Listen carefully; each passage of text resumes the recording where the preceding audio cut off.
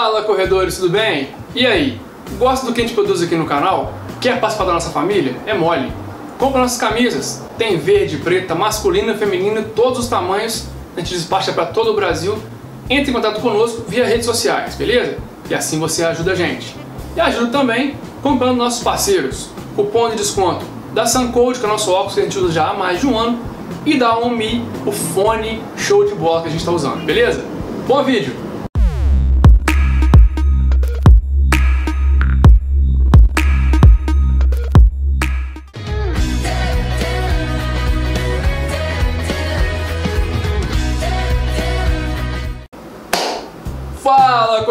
Tudo bem? Olha quem tá aqui de novo. Meu treinador, o Vini Magalhães. Para você que não conhece, ele é meu treinador é da equipe Fox e hoje vai falar com você ah, que assim como eu um dia, que assim como ele um dia, quer correr a primeira maratona. Se você chegou até aqui, meus parabéns, é um desafio muito longo, mas não é nada impossível. Vini, explica pra galera então a melhor estratégia, como chegar lá, na primeira maratona. Eu tô chegando em você hoje, Vini. Quero correr minha primeira maratona. O que, que eu preciso? Como fazer? Não, o legal para quem quer fazer a maratona é primeiro tentar colocar algumas meias antes. Não chegar de cara assim, Vini, quero começar a correr hoje e, e a maratona daqui a um mês. Então, pega a bagagem, começa a treinar, faz algumas meias, para o teu corpo acostumar com os treinos. É, a gente fala que o salto, por exemplo, de 10 para 21 é muito mais fácil do que o de 21 para 42. Porque o, o dobro é muito maior. é muito maior. Você correr de repente. É sempre, sempre o dobro, né? De 5 para 10 é o dobro. De 10 para 21 é o dobro. Agora de 21 para 42 o tombo é alto. Os treinos exigem muito mais. A família vai ter que ter paciência. A família, os amigos, você trabalho. vai ter que se dedicar muito é. mais. Porque o legal para maratona é fazer pelo menos de 4 a 5 treinos para conseguir distribuir bem as cargas. Então, se você tem tá com pouco tempo de treinar, quer fazer sua primeira maratona, está estudando para o concurso, um não é a hora. Porque com três vezes na semana até dá para você treinar. Mas aí já vai vir um cara que tem um pouco mais de experiência, que já fez maratona algumas vezes, porque ele consegue suportar um pouco maior as Já cargas. se conhece. Porque senão o volume começa a ficar muito alto e o corpo vai sentir. Ou se vai. Para maratona, o ideal é que você já esteja correndo, já tenha feito algumas provas de 21 km e a gente pede aí seis meses de treino. Seria um... Só para maratona, não é para sair do zero é e para fazer a maratona, Sim, não. Isso aí. Meu exemplo, Comecei a treinar com o Vini aqui no Rio, fiz até a minha meia maratona com ele, fui embora para Juiz de Fora, treinei com a Nina lá, um abraço pra Nina, voltei pro Rio depois, já tinha feito a maratona. Eu demorei dois anos. Eu fiz aí umas cinco ou seis meses. É o ideal. Porque eu queria fazer a maratona. Inclusive fiz a meia da prova. Minha primeira maratona foi a maratona do Rio. Então eu fiz a meia do Rio, era metade do percurso, então a gente já vai conhecendo o percurso. Hoje em dia, com os canais, tem muito vídeo, tem muito material você poder conhecer o percurso. Então estuda o percurso, fica na cabeça, ó, tô subindo, tô descendo, tá plano. Tudo isso é importante. E o treinamento é muito importante. Seis meses de treinamento, no mínimo. Fortalecimento. Muito fortalecimento. Nutricionista. Nutricionista. Um trabalho de base bem feito para que você comece a ganhar volume e não se machuque educativo, focar em técnica também é fundamental. É, educativo, então, nossa, é toda a diferença. Toda economia de energia que você tiver na prova é importante. É válido. A maratona, na minha primeira maratona, nunca falei isso aqui. Eu pesei na sexta-feira e na segunda-feira. Eu perdi 2 quilos, que eu não recuperei ao longo do final de semana inteiro, sendo que no domingo, pós-prova, comi um x-tudo e não recuperei. Mas você imagina, eu, a perda é muito grande, então tem que preparar, tem que se alimentar bem tem que se alimentar. Um, um outro fator importante, vindo de alimentação. Quando você faz uma meia, você toma dois géis. Quando você faz a maratona, você vai tomar, se você for tomar só gel, você vai, no mínimo são quatro géis. De quatro Por exemplo, a cinco. a gente fala, tá falando aqui de dobrar. A primeira maratona você vai assim, ah, pô, eu faço a meia subi dois, como o vídeo anterior. Eu vou fazer a maratona quatro? Não vai. É um cálculo que muita gente faz e é um dos maiores erros que eu vejo por aí. Sim. Não vai dobrar. Vai dobrar e vai passar. até a intensidade de prova é diferente. Aí a gente foca lá na, no ritmo de 10 e de 21. Para você fazer 21, você não vai sair também no ritmo da prova de 10 km. Para maratona, menos ainda. Eu digo até que tipo, a meia maratona você ainda vai fazendo uma intensidade ali moderada, que você vai estar ofegante, você ainda consegue suportar. Para maratona, se você sair nos primeiros 21 moderado, que seria ali zona 3 de treino, aquela coisa ofegante, vai chegar lá perto do 28, 30, vai sentir. Se você está correndo a maratona, você sabe o que eu estou falando, que o Vitor está falando por zonas de treinamento, é importante. Se você não sabe, procura. Para quem é correr a maratona é fundamental. Inclusive nos treinos, como o seu volume fica muito grande, você tem que respeitar muito dentro daquele ciclo ali os treinos que vão ser leve, os treinos que vão ser de volume, e não adianta você querer fazer os volumes puxando muito o ritmo, você já tem que também tentar planejar os ritmos que você vai fazer na prova, e quando os treinos passarem de 21, fizer treino de 26, 28, 30, não adianta você querer puxar muito achando que vai é conseguir manter lá e fazer o 42 bem. E uma outra dica importante, inclusive, que eu dou, mesmo para quem está treinando bem, vai fazer a primeira maratona, esquece focar tempo.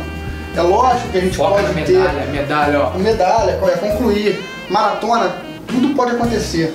Às vezes você sai, tá sol, chove no meio da prova. Você pode sair com chuva e abrir um sol absurdo. Pode querer ir no banheiro, porque, pode pô, são 4 a 5 horas no mínimo que você vai correr. Sim. Você vai tomar isotônico pra caramba, vai tomar água pra caramba, vai tomar gel. Tudo isso. Incluir no treino o gel, inclusive, e o que você vai colocar. É importante, porque senão você pode estar ali. Se você treina usando pouco suplemento, você pode enjoar na prova. Entendeu? Então, e principalmente os treinos longos são os mais importantes para isso. Faz toda a diferença. Os treinos longos que a gente falou ao longo dos vídeos. Do 5K, o longo era 7 a 8. Do 10K, o longo era ali 10 a 12. Do 21K, o longo era 16 a 18. No 42 são vários longos, certo? São vários longos. Vai aí 22, 24, 26, precisa... 28, 30, 34. Isso aí. E você não precisa chegar a 40. Você não precisa chegar a 38. Uma dúvida que todo mundo me pergunta, mas você não treina 42 para correr 42? Não. O 42 muitas vezes você está com um volume de treino muito grande. Aí a gente está trabalhando com volumes de treino de 60, 70, 80 quilômetros na semana. Na semana. Isso aí nós estamos falando do pico de treinamento. No pico de treinamento. Vamos supor, dos seis meses de treinamento seria ali no 4 para o 5. Isso aí, do 3,5 até o 5,5. Que aí começa, uma semana você faz o 22, aí cai para 15. Né? Outra semana você faz o 26, aí cai para 18. A progressão também é muito importante. Você pode variar nisso, mas normalmente a gente faz aí um degrauzinho de subir três semanas, desce uma. Até para não sentir tanto assim. Até para não sentir tanto. Mas tem muita variação dentro disso. Não necessariamente você precisa fazer, por exemplo, 20, 22, 24 e descer. Até a sequenciazinha, não. Você, você tem que analisar como está o teu aluno. E outra, às vezes você sabe fazer um treino de 26, você chegou no 20, no 22, você está muito acabado. Não está rendendo mais. Não está rendendo? Para ali. Como é uma sequência de treino e o teu volume começa a ficar muito alto, mais vale às vezes fazer um treino de duas horas e meia, um treino de 20 Bem feito. Bem feito, do que um treino de três horas arrastado. Vai chegar em casa assim, pô, não aguento fazer mais nada. E aí a família em casa vai sentir, vai te cobrar, vai, pô, tá treinando pra maratona, não quer fazer mais nada. E aí você vai ficar com aquilo ouvindo na sua cabeça e vai, inclusive, atrapalhar a sua prova. E outra, você faz um treino de 26, 28 no sábado, dá off no domingo e na segunda você está correndo de novo. Então. A planilha vai chegar.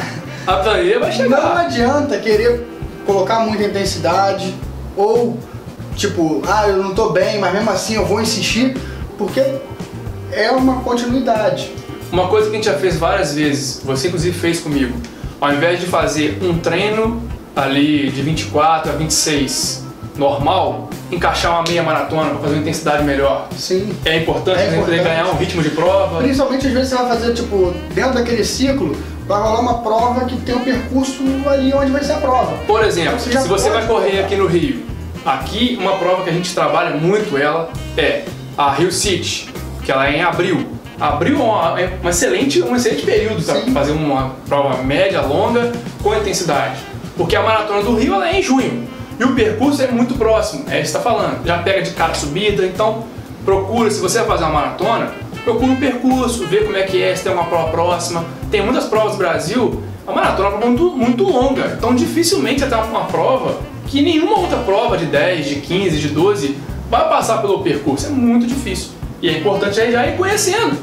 Vai assistindo os vídeos em vários canais, nós temos vários amigos que têm vídeos de várias provas, e é importante ir estudando a maratona. A maratona não é só pegar, chegar e correr, não.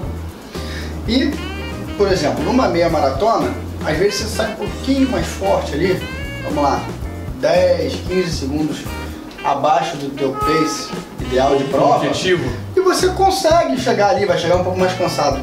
Se você baixa 10, 15 segundos no teu pace ideal para maratona, você quebra feio. E quebrar não é quebrar assim, ah, vou diminuir meu ritmo. Quebrar é abandonar. É. Imagina você na primeira maratona, fez seis meses de treinamento, deixou de ir a evento de família, deixou de sair com os amigos, uh, em casa, para chegar na sua prova e você falar assim, oh, chega no trabalho na segunda-feira, e a medalha, ei maratonista, pô, quebrei. É ruim, isso ninguém quer, ninguém treina para isso.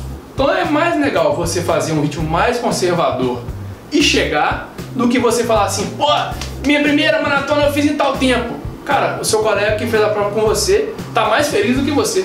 E, e sim, o nosso corpo ele se adapta muito. Então, os primeiros treinos para maratona, os primeiros longos, até o seu corpo se acostumar, e até a primeira maratona, geralmente ela vai ser muito mais sofrida do que as próximas. E você não vai querer correr da maratona. Fala eu nunca mais vou correr isso.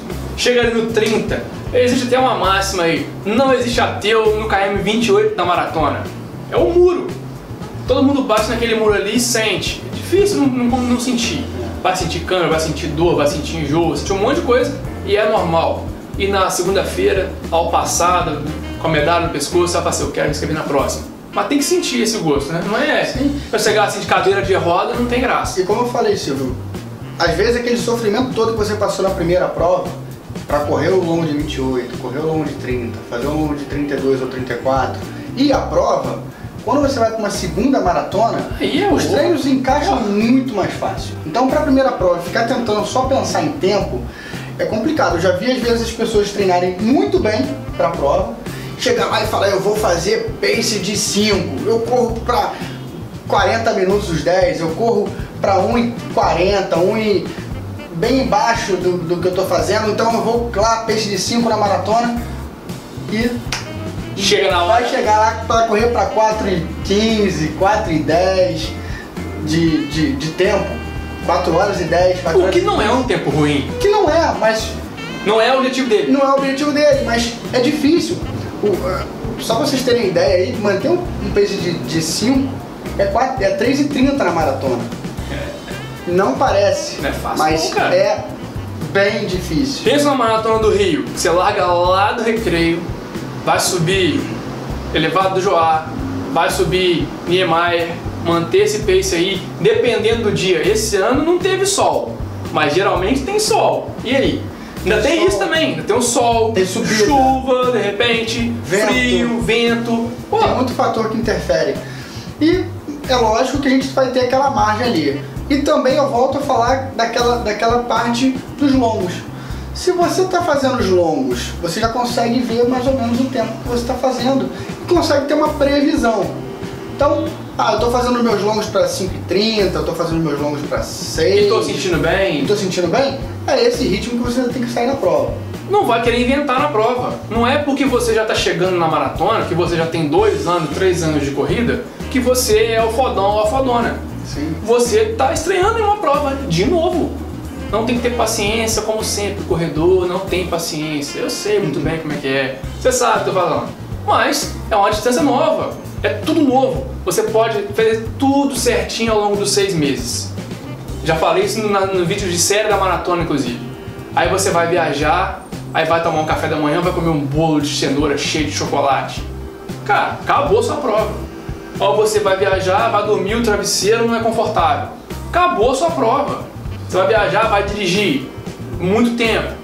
E aí? Seis meses de treinamento, fez tudo certinho, chegou na prova. Tem isso também, né? Tem que preocupar inclusive com isso. Então, viajar, tudo isso acontece. E curta a prova, é importante curtir a prova. E outra coisa fundamental para maratona, psicológico. Sim, a maratona você não corre só com a perna. Você tem, o, você tem o, a musculatura, você tem a alimentação, mas tem o psicológico. Se você botar na cabeça que vai completar, você vai completar. Não, não tem quem te tire da cabeça. Nem que você complete andando, o que não é o ideal, o que não é o que está buscando fazer. Mas você botou na cabeça que ninguém vai tirar aquela prova de você, acabou. Você vai chegar. Pensamento positivo é fundamental. Como você falou, chega lá no 32, é normal sentir dor. Então, vai sentir dor sim. Se você não tiver dor. muito bem de cabeça ali, pensar positivo, pensar que vai conseguir, que treinou pra caramba, que tá chegando. E uma outra coisa interessante, não pensa a prova como um todo, fraciona a prova. Isso. Normalmente lá pro 21, a gente fraciona em dois. Divide a maratona em duas? Na maratona, geralmente eu faço 4 de 10,5. 4 de 10,5 já tá mais fácil. Pensa o seguinte, ó. Passeio 10,5. Passeio 10,5. Não é mais tranquilo do que você pensar em, meu Deus, ainda tá, faltam 40, ainda faltam 30. Olha a sua cabeça aqui, ó. Tudo isso é psicológico, tem que trabalhar a cabeça, cara. Eu, às vezes, dependendo da prova, eu divido ela em 4. Quando eu chego no 21, eu falo, agora só falta metade. Porque isso até pro psicológico ajuda. Você já fez 21, não Agora, é que só se, se você, falta. Sim, já fez. Se, se você pensa assim, ainda faltam 21, cara, aquilo ali pro seu corpo, por incrível que pareça, o corpo sente o que você está sentindo. Ele começa a te sabotar. Sim. A maratona, o grande problema é você se sabotar, então não se sabote.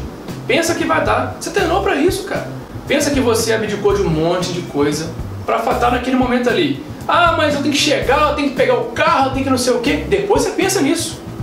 Pensa na prova, você está ali para fazer isso. E sucesso, sua primeira maratona. E depois coloca nos comentários aqui se você foi bem, o Vini poder compartilhar com a gente. Gostou do vídeo? Compartilha com amigo, com amigo corredor que vai estrear na maratona, tá cheio de dúvida. A gente pode desenvolver esse tema mais vezes, inclusive.